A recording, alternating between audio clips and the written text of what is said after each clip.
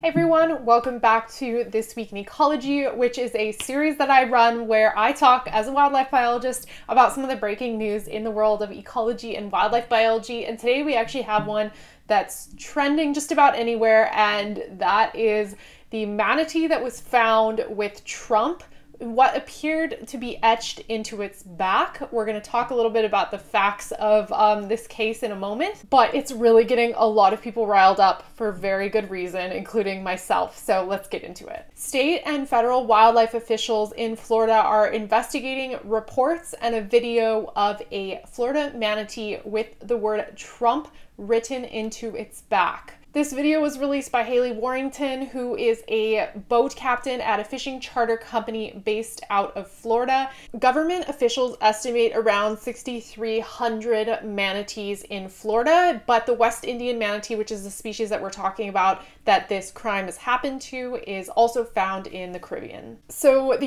U.S. Fish and Wildlife Service Director Aurelia Skipwith said in a statement, West Indian manatees are essential members of the ecosystems in which they inhabit, and they are protected under the Endangered Species Act and the Marine Mammal Protection Act. So, the Endangered Species Act and the Marine Mammal Protection Act are federal pieces of American legislation that protects these manatees from harassment, injury, and death. These regulations are no joke, and the injury of a manatee in this area is punishable with up to $50,000 fine with one year in jail as a federal crime. There's also the Florida Manatee Sanctuary Act of 1978, which also protects manatees in Florida from harassment. So those are multiple pieces of legislation stacked on top of each other that is absolutely outlawing any sort of harassment of this manatee. The reason why these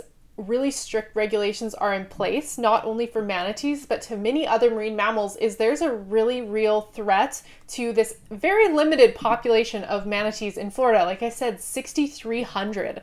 And the reason for why that population is really vulnerable is boat collisions. Uh, that's going to be one of the big ones that's going to come up when it comes to altering manatee behavior and drawing them into humans is increased likelihood of boat collisions. Other issues that face these manatees are hunting, habitat destruction, and toxic red tide which all impacts this vulnerable species. Not only is it harassment of an animal, which unfortunately happens probably every single day in the United States, especially marine mammals, um, it's also a perfect depiction of the political division in the United States and really in the world right now on the natural world. What is more symbolic of that than the word Trump written onto a vulnerable endangered animal. I think that something is like very striking about that and I think that's why this case is going so viral, but I'm not going to lose the chance to talk about how vulnerable marine mammals are even outside of this case and that comes into play when we start talking about issues like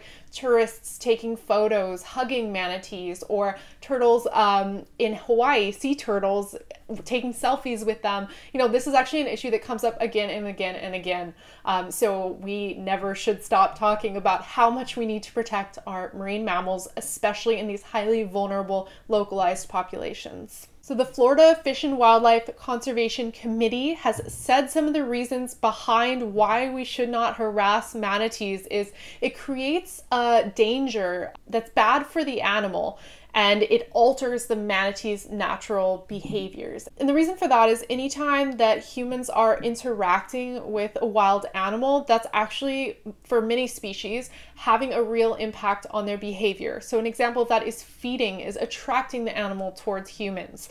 Um, I have no idea how someone wrote on a manatee with algae, like the logistics of that completely escape me. But if a manatee becomes accustomed to being around humans and is habituated to humans, they will alter their behavior in the wild, and that could lead to manatees being less afraid of boats and to humans and makes them more susceptible to harm. And so when manatees are less afraid of boats and humans, they might go up to the boats and there we go we saw that boat collisions were a big impact to that population going up to humans higher likelihood to be hunted.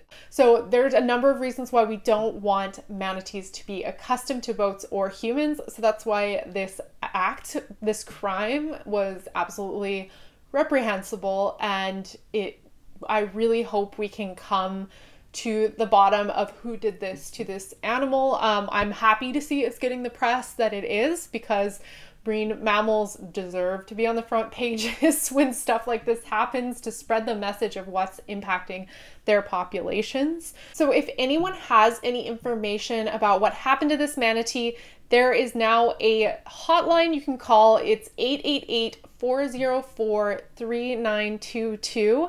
And the Center for Biological Diversity, which is a nonprofit group that helps protect endangered animals, is offering a $5,000 reward for information leading to a conviction in this case. So I hope that gave you a little bit of information behind the story um, and a little bit about manatee behavior to help understand what happened. Thank you guys so much for watching this video. If you want to, you can share this around to help people hear a little bit more about marine mammals and what manatees are susceptible to.